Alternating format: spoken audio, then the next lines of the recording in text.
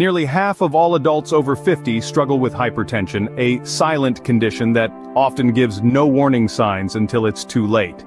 Today we delve into the importance of understanding and managing blood pressure, a critical aspect of maintaining health as we age. Blood pressure, the force of your blood pushing against the walls of your arteries, acts as a vital health indicator.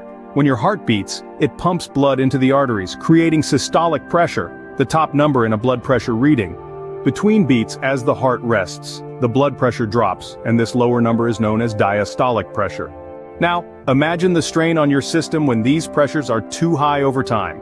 This condition, known as hypertension, can lead to severe complications including heart attacks, strokes, and kidney failure.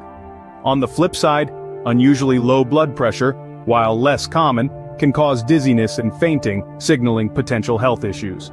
So, what are considered normal blood pressure readings?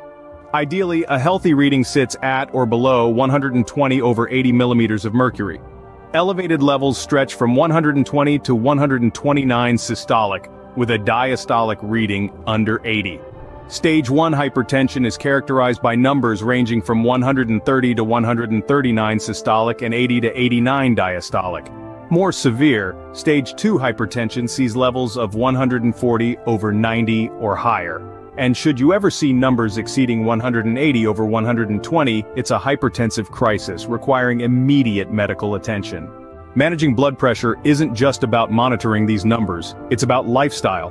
Regular checkups with a reliable blood pressure monitor can catch changes early.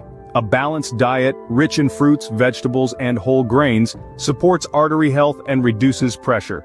Regular physical activity, at least 150 minutes of moderate aerobic exercise per week, strengthens the heart, helping it pump more efficiently.